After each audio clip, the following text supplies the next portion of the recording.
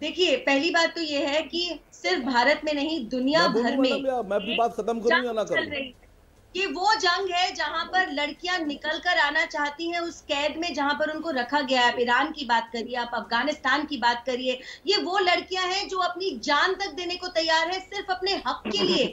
और यहाँ पर हम ये किस टाइप का रिवर्स फेमिनिज्म दिखा रहे हैं? अच्छा एक तरफ़ अगर हिंदुओं की घूंघट की प्रथा की बात होती है, भाई वो भी तो एक सोशल कल्चर था। हम लड़े हैं ना उसके खिलाफ। हमने बोला है कि घूंघट के बाहर निकलेंगी हमारी बेटियाँ, पढ़ेंगी, लिखेंगी, जीवन में आगे बढ़ेंगी। तो हम क्यों नहीं? इक्वालिटी के साथ हिजाब को उसी तरीके से देख सकते हमें क्यों हर चीज़ को एक रिलीजियस एंगल देना है, एक पॉलिटिकल एंगल देना है?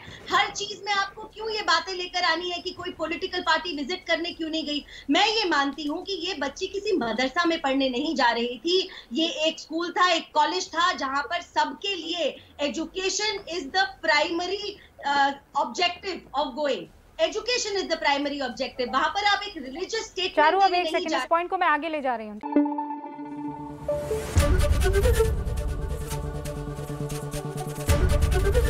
एबीपी न्यूज़ आपको रखे आगे।